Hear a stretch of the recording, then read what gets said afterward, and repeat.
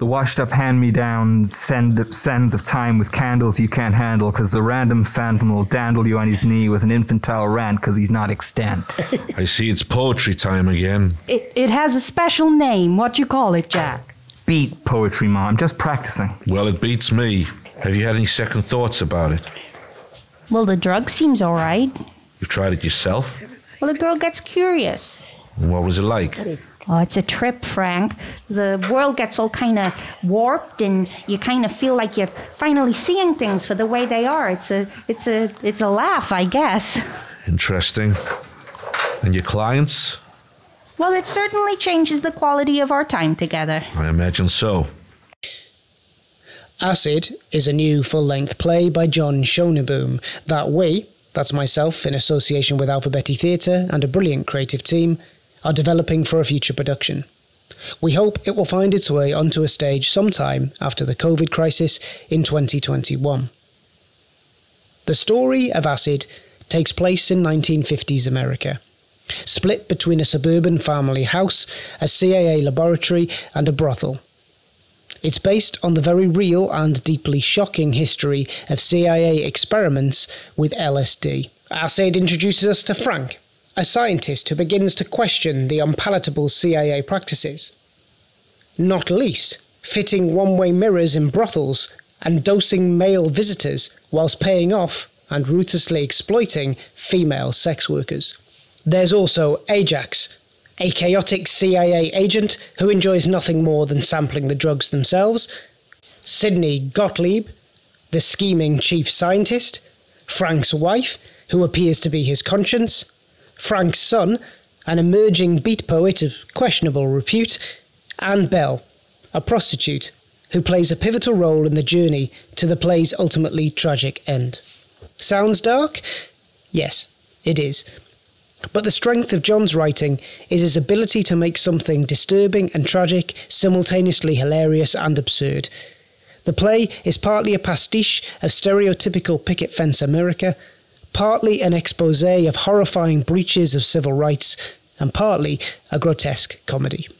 We need to understand these things in case they fall into the hands of those with less scruples. Fewer. And you believe that? That's adorable. Well, not all cynics, mister. Oh, please. One of us here is truly comfortable with our weaponry, and one of us isn't. That's all. By the way, Frank, you smell fantastic. Yeah, thanks. Oh, really? You smell great. Is that cologne? Granted, the acid is kicking in, but this may sound strange, but may I touch your face? Why this play, and why now? Well, for one, the themes of torture, of misuse of state powers, of the moral complexities and conflicts that emerge from social situations are completely relevant to our time. But Acid also came out of an 18 month project called Just Write. A partnership scheme funded by Arts Council England, this provided opportunities for writers in a whole number of different ways.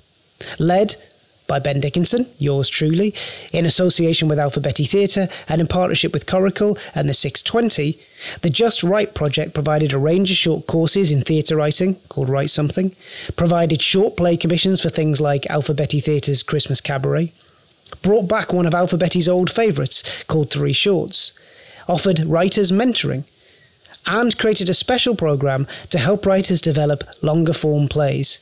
We called that Write Longer. Out of the Write Longer workshops, held over several months, we selected three scripts to take forward for further development. The last one is Acid, and this film tells you how we've started work on taking this darkly funny gem from page to stage. We began by bringing together an exciting creative team for a development workshop. In the room were writer, cast, director, designer, a filmmaker, and Alphabetti Theatre's artistic director acting as dramaturg. Our aim was to dig deeper into the world of the play, to understand what was specific and what was universal, identify which characters we need to develop further, establish the boundaries of comedy and serious drama that ripple through the play like waves, and tackle the thorny challenge of realizing a true story from 65 years ago with due respect to the principles of equality and representation that, rightly, govern our approach to making theatre in the 2020s. In the past, we would have done that over a full day in an open space with lunch, moving the company around, trying scenes with different approaches.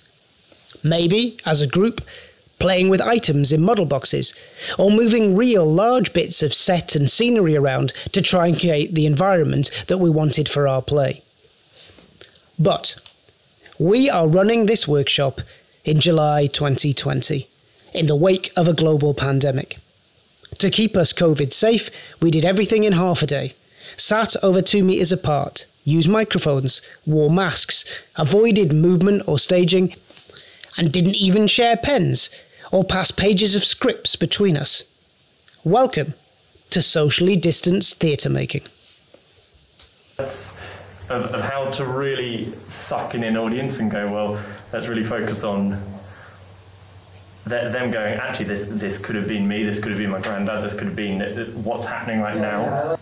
If every character and every bit of the story doesn't earn its place, the overall picture of that, that political social world that you're dissecting and that question of morality gets slightly undermined because the audience don't buy it. Yeah, that's great. That's great feedback. And then the other bit that, that I think happens is that is that if, if you are going for the which you write really well that kind of ping ping ping and it's it, it's funny but it's also dark and it's a bit shocking if you don't take the subject matter of that comedy seriously all it is is a laugh. And actually, that's where Ali's point about the foot is right, because I, I didn't think it was funny when I read it, but when you guys read it there, Yeah. I thought the clubfoot scene was, was for laughs there, but I didn't when I read it on, on the page.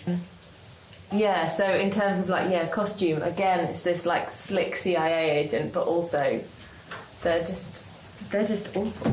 They're awful people. Our group includes actors Steve Byron, Paula Penman, Bob Nicholson, and Natasha Hawes. They're all theatre makers, directors, writers in their own right, as well as being very fine actors. And me, Ben Dickenson, Alpha Betty's associate literary producer and the director of this play. Our designer is Molly Barrett, who has designed a ton of fantastic shows at Alphabetti over a number of years. Also in the room is Adam Goodwin, our filmmaker and all round technical expert, and of course Ali Pritchard, Alphabetti's artistic director. And then there's John, a novelist and playwright hailing from New York who has lived in Newcastle since 2010, winning a Northern Writers Award in 2016. We challenged the acid script. Not because there's anything wrong with the play, but because any great piece of theatre needs to know that it can stand up to the tests that an audience will throw at it. So, how does the story work? Does the narrative hold together? We've got a central protagonist, Frank, but does every character have a satisfying journey? And how are different genders treated in the play? Where is the line between comedy, satire, surrealism, and the serious business of showing the horrific actions of the CIA for what they were then, and by implication, what they have been since? Every good play needs to be taken apart in the workshop room and put back together at some point. And John embraced that process fully, challenging back when he needed to and going away with a list of ideas to tweak and change to make this already great script even better. Then we got into the business of character. We talked about accents, of course, the whole play is set in the United States, but we also talked about motivation and the style of each character's performance. Is Ajax a fool, reveling in LSD trips, or a calculating mercenary sociopath, or some combination of the both, shifting between them in different scenes? How can we situate this play in the specific time that it takes place?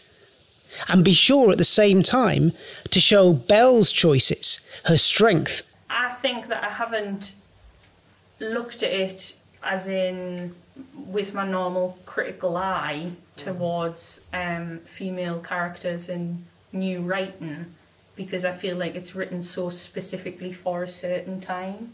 He's experimenting on people, and he said he's still doing it.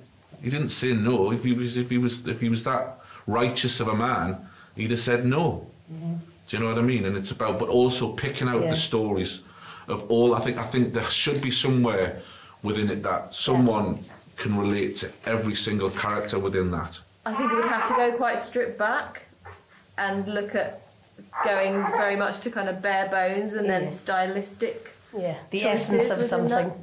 So, um, yeah. the fundamentals of a table and, and probably four chairs. like really tell the story of she's a sex worker but she's chosen to do that like she finds power in that so maybe frank does come to be like i'm going to take you out of here and i'm going to find you a safe space and stuff and she stands against it and says you know like this is my choice this is the work that i've chosen to do And then it was all about design.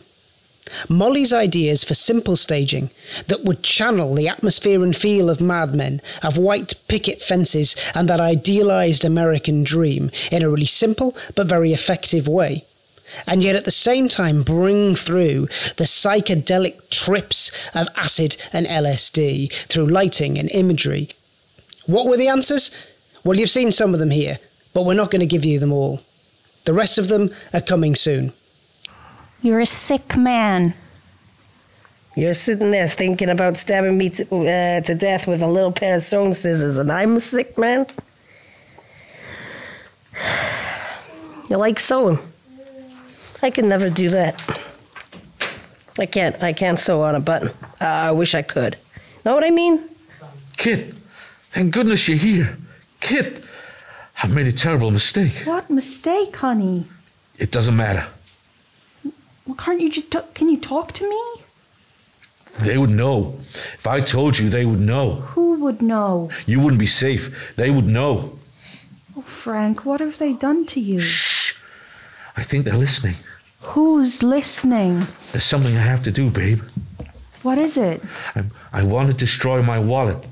So, mark your card, clean your brain of mind altering substances, and check you're not being followed by any shady characters, especially if their name is Ajax.